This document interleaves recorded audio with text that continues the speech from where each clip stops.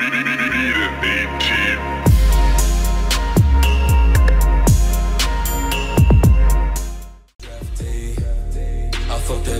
her back pain.